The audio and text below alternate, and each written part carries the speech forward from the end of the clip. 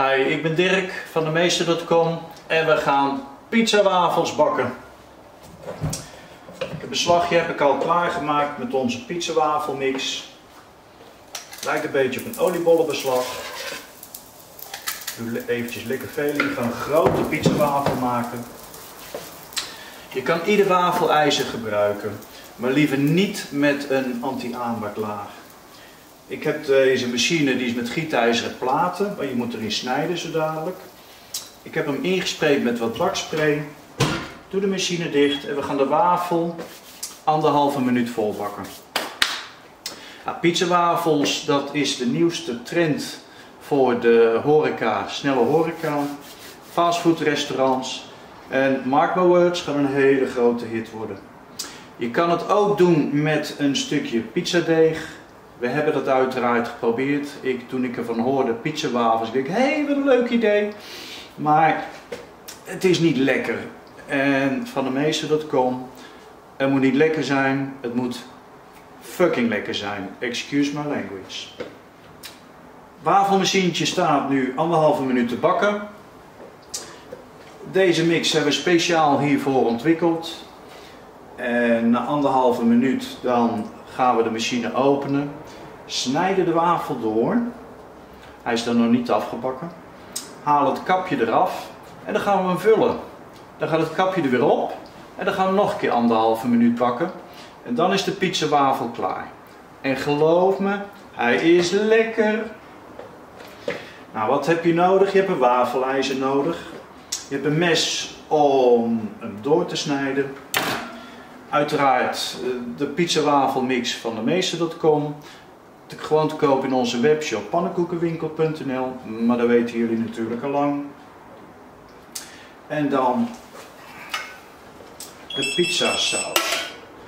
En daar hebben we eventjes een hele goede voor uitgezocht.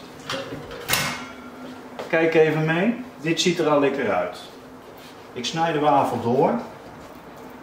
Hij is lekker droog van binnen. Haal het kapje eraf. Dan gaat de pizzasaus erop. Natuurlijk niet te zuinig zijn, hè. Moet wel lekker worden. Ook het kapje. Daar iets minder, anders ga je knoeien. Ik werk gewoon met plakjes kaas. Je kan iedere kaas gebruiken, maar een pittige kaas is gewoon net iets lekkerder. Heb je grote wafel, heb je grote plakken kaas nodig, wees niet te zuinig. Salami natuurlijk, mag niet ontbreken. Ik doe gewoon hap, twee plakjes salami. En in het kader van hoe lekker kan het worden, gewoon eentje met extra kaas. Nou, daar gaat hij. Kapje erop. Oh, die geur, ruikt het al, hè? Kan niet missen. Even kijken of de machine weer wat klaar. En nog anderhalve minuut bakken. En dan is de pizzawafel klaar. Ondertussen even een winkeltje op orde.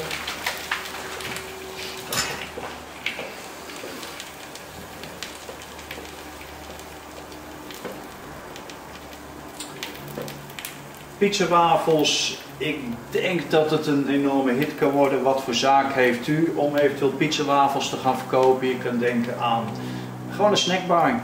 Maar wat dacht je gewoon van een pizzeria? Hey, pizzawafel is nieuw. Mensen worden toch getriggerd, zijn nieuwsgierig van wat is dat dan? En hoe ziet dat eruit en hoe smaakt het? Nou, daar helpen u graag mee met de verkoop om pizzawafels succesvol te maken en uiteraard lucratief. De prijs van een pizzawafel, dat is natuurlijk helemaal afhankelijk van waar staat u. Staat u op een uh, braderie in, weet ik veel, een dorpje, dan kunt u 3,50 vragen. Maar staat u op de Albert Kuipmarkt of in de wafelshop in Amsterdam, hey, the sky is the limit. Ik, uh, als je al voor gewoon een superstroopwafel 5,5 euro kan vragen, ja, verzinnen, vul het zelf maar in. Wij hebben een, een uh, voorbeeldmenu met verschillende pizzawafels. En kunt u van ons krijgen uiteraard. En er staat ook een Vega op. Moet natuurlijk wel meegaan. Jammer dat jullie het niet kunnen ruiken, maar geloof me, dit is zo lekker. Een wafelvork is wel even wat handiger dan met een mes eruit halen. Dat gaat allemaal. Schoonmaken, dat uh, hoeft niet echt. Je kan de volgende pizza wafel hier gewoon erin bakken. Dit is hem.